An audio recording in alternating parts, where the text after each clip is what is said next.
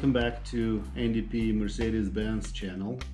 Today in the first video I'm gonna review and I'm gonna try this little nifty device um, that's really not expensive. I think I paid about a dollar for two of them. One I gave to my friend and one I decided to, uh, to try it and see how true uh, this device is. Um, so what that device is, it's a battery and charging system tester. So little information on uh, on on car battery and car charging system.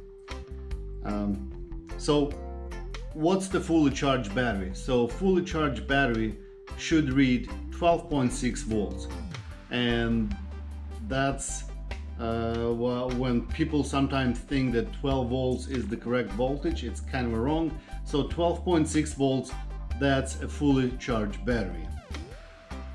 And when the engine is running, you, your charging system should uh, output about 13.7 to about 14.7 volts. Um, so what that is is basically it's a replacement for a regular multimeter. Um, if you don't want to have a multimeter or you don't understand all the uh, background in a voltage me metering and everything but you just want something quick and dirty so that device I think it's really handy. It's really small it's really light and I think it does the job. So to start with um, I got a voltage uh, regulator and uh, I'll be uh, supplying different voltage and I'm going to confirm that the specs that they put in the description for this uh, little device is actually uh, true. So I'm going to put a little uh, link in the description below where you can find and where you can purchase this this little device and um, a handy table that they supply on the description. So basically has six states, uh, two of them with the car running right here and the rest when the car is non-running just to check the battery. So let's start testing. So to test I have this power supply that I can change the voltage. So what I need to do is connect the wires. So we'll put this here. Okay the blue one is the minus or negative we call it so negative goes here. And positive we connect over here. Okay. So I have connected my positive lead and negative lead. So that's all good now. Now I'm gonna switch on the power supply. And we're gonna go down to about so we'll take it down to about 8 volts. Okay, so 8.7, this is where we're gonna start. So, like the instruction says, when the battery is below 10 volts, you won't have anything on the screen or none of these lights will be on. So what it says, uh, the voltage has to be at least 10 volts for this green light to come on. So if we keep going up,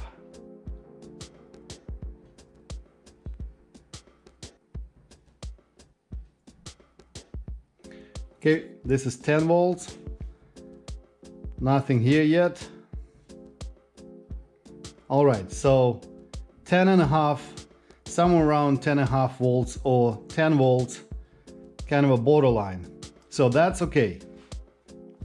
So now it says that as we go up, the battery the low light should be between 12 and 12.3 volts so we're gonna go up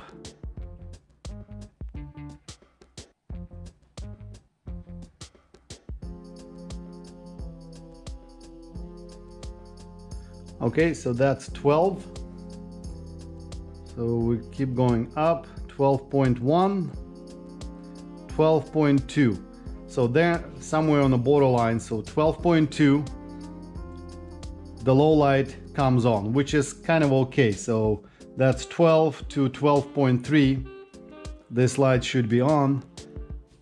Uh, the next the yellow light should be at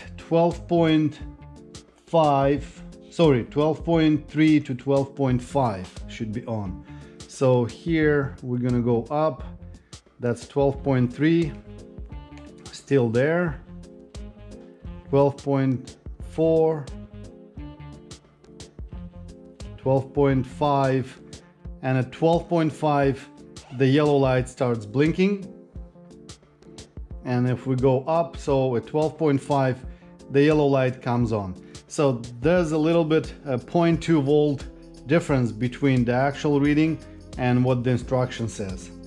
So let's go up and it says at 12.6 it should show that the battery is fully charged. So we're gonna keep going up 12.6 12.7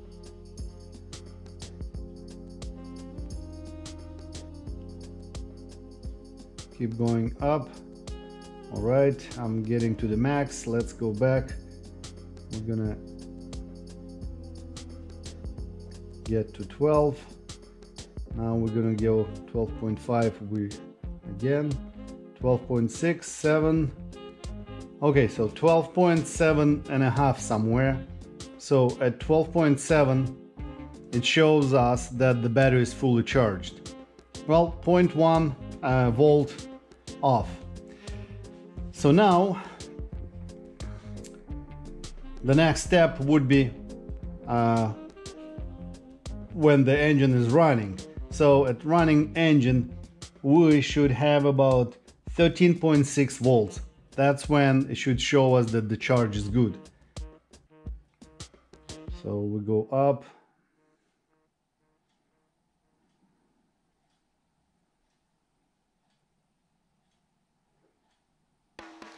so 13 all right so somewhere around 13.8 so again, that's about 0.2 volts off.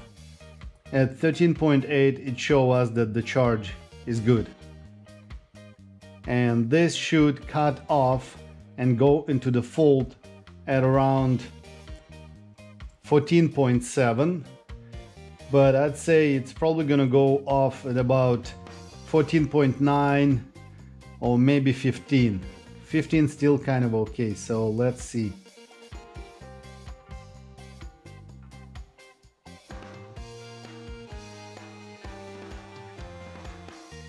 All right, I reached my max. Let's go down. Use the coarse okay and let's go up again.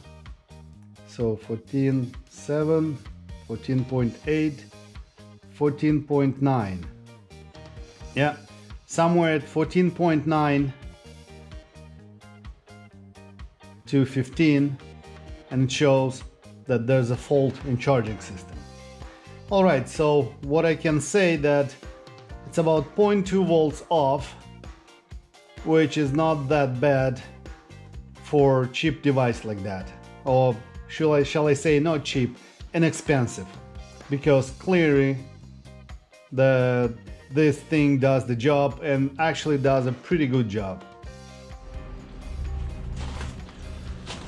Alright, so now I'm gonna connect this battery tester to my battery and I know that I bought the battery in a junkyard so I expect it to be a little bit weak. So let's see. All right so that goes to negative. And this goes to positive. And what do we have there? So it tells us that's yes it's between 10 and 12 volts and it's low and like I said I do suspect that this will be low because because I bought it. And you can see that it's blinking so it's somewhere there. And based on our measurements I can tell where it is. Okay so that's regarding the battery. Now let's um, see the start and the charging system. And the charging system we're gonna do in two steps one at idle and one is gonna be at 2000 rpm okay and I'm gonna go start the car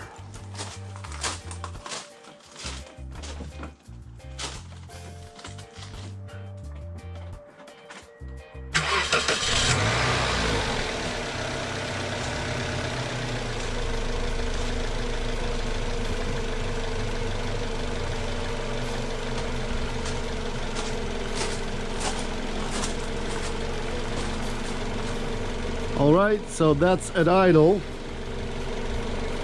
And at idle we can see that the charge is good. The battery shows us that the battery is receiving full charge. So that's okay. Now we need to go up to 2000 rpm make sure that the battery does not overcharge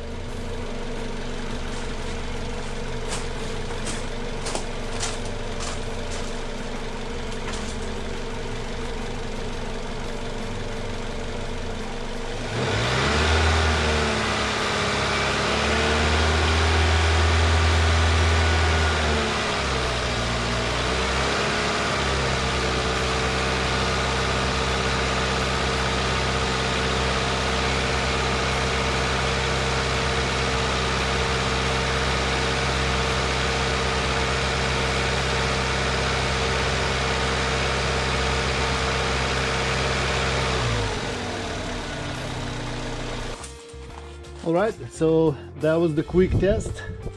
And now that we've ran the battery a little bit it receives some charge and it actually shows that the battery fully charged. My verdict would I recommend this little device to my friends? Definitely. I think it's a very useful it's a very simple tool um, for the price I think it does what it's supposed to do. Maybe not that accurate, but we're not looking for accurate measurements. But to give an average driver or average car owner an idea, I think this little tester deserves 9 out of 10. Thanks for watching.